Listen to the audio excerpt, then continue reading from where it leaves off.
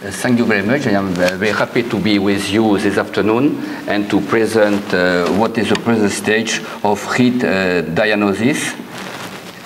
So I will speak about uh, the uh, situation in 2008 of uh, diagnosis, laboratory uh, diagnosis of HIT.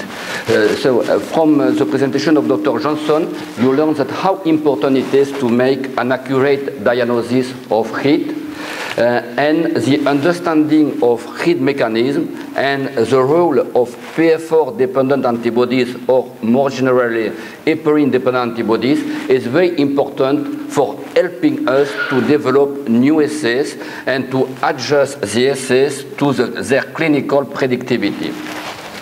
It is also very important to confirm an immune-mediated HIT when it is suspect from uh, clinical conditions because the clinical context where HIT occurs is frequently difficult to manage. Alternative, alternative therapies are not always safe and easy to manage and the patient can need again heparin because it remains the most efficient anticoagulant in many conditions. And in this case, if you can exclude HIT, then the patient may benefit again from heparin. This slide, uh, a complex slide, summarizes uh, how we understand now the mechanism of HIT, which are induced by the heparin-dependent antibodies, mainly target to heparin PF4 complexes that uh, you can see in purple.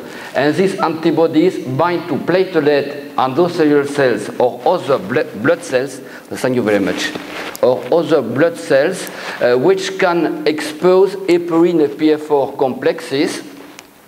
And then PF4 uh, trigger many uh, mechanisms which can lead to platelet activation and destruction, thrombocytopenia, and sometimes thrombosis.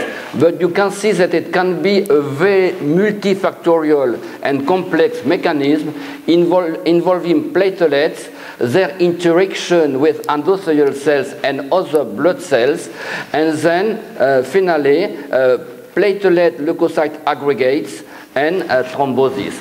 And what can also favor occurrence of uh, HIT is uh, the clinical context and disease used to develop at pathological sites. And patients who develop HIT used to develop HIT always at the same clinical sites. So uh, what is also very important to remember is that for forming the target antigen for binding heparin-dependent antibodies, we need to have a very well uh, uh defined ratio between PF4, you can see the tetramer here, and heparin.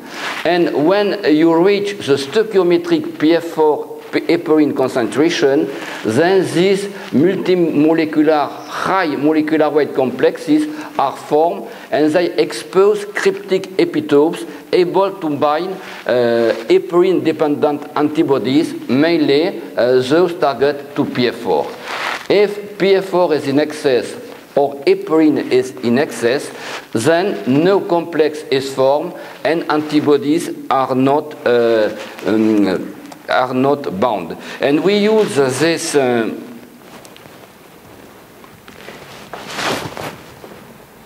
hmm, I would like to come back, uh, to go back.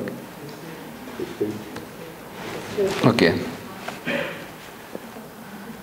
Previous. Okay.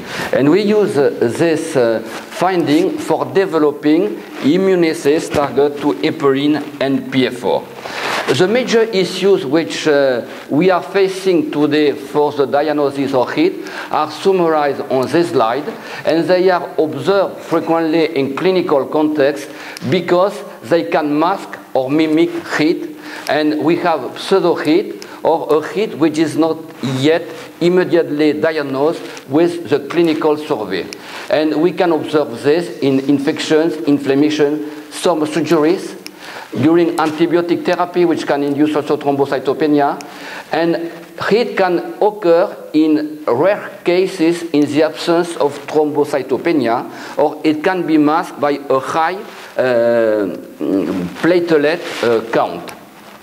Sometimes platelet kinetics are atypical and false platelet activity assays can be observed. Coming back to the laboratory testing, so we can discuss what is now the usefulness of laboratory assays, uh, how we can control the variability of platelet donors used for activation assays, and you know that you have to select the good platelet donors to have an efficient platelet activation assays.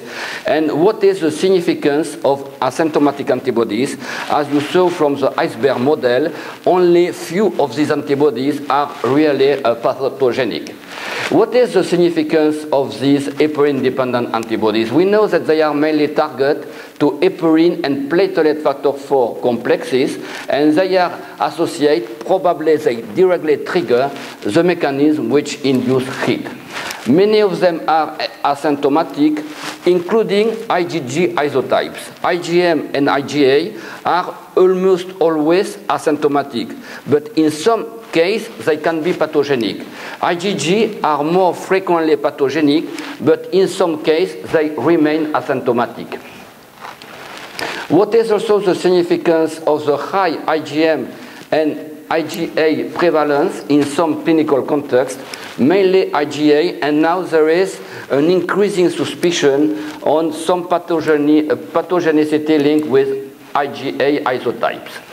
And the major question which remains open is how can we identify those antibodies which are truly pathogenic uh, can be rely on isotype, on antibody affinity and avidity, or on epitope specificity.